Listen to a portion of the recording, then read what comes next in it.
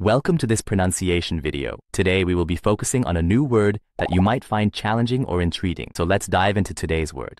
Laufbahn, which means, Career path or trajectory in professional or personal life.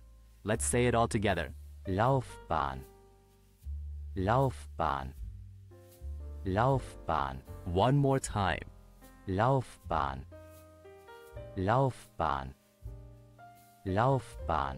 Thank you for joining us on this adventure in pronunciation. Remember, language is a journey, not a destination. Keep exploring, experimenting, and expanding your linguistic horizons. We'll see you next time.